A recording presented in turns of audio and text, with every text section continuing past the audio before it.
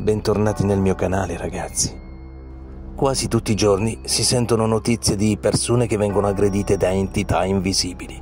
Alcune di queste entità si manifestano proprio nei posti meno impensabili. Questi spiriti non si accontentano solo di far del male alla persona, ma tentano anche di possederla.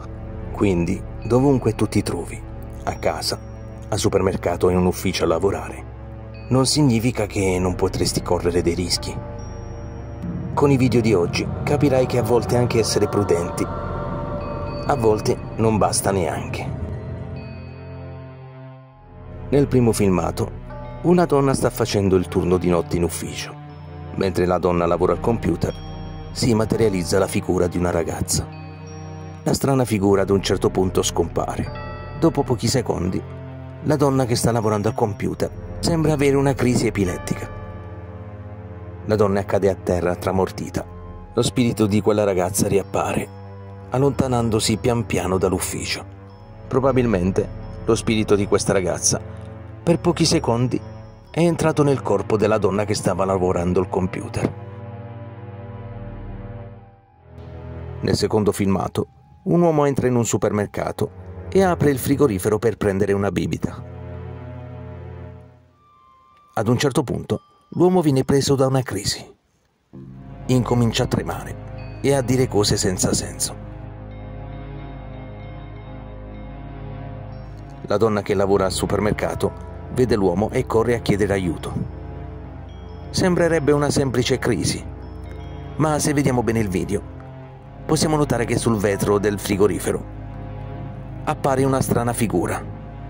Dopo di ciò, su alcuni scaffali incominciano a cadere degli oggetti. Ciò può significare solo una cosa, che quell'uomo non ha avuto una semplice crisi, ma qualcosa è entrato dentro di lui. Due donne entrano in questo ospedale. L'altra donna più robusta, arrivata vicino alla scrivania, viene presa e tirata da una forza invisibile. La strana forza fa cadere a terra la donna. Infatti se rivediamo le immagini, non è una semplice caduta Qualcosa ha preso la donna e l'ha fatta cadere a terra. Nel novembre del 2010, un canale di informazione riferì della storia di un ragazzo giamaicano che affermò di essere perseguitato dall'amico morto. I genitori del ragazzo affermarono più volte di aver fatto di tutto per scacciare questo spirito. Ma nonostante tutto, la strana presenza non aveva nessuna intenzione di lasciare il ragazzo. Infatti, più volte in queste clip viene tirato, strattonato e spinto. Il ragazzo più volte affermava che l'amico non si limitava solo a spingerlo o a strattonarlo, ma molte volte si sentiva baciare e leccare sulla guancia. Purtroppo non si hanno più notizie di questa storia. Una cosa è certa, che come filmato horror merita il primo posto. Bene ragazzi, siamo arrivati alla fine del video. Spero che vi sia piaciuto. Io come al solito vi aspetto al prossimo video. Ciao!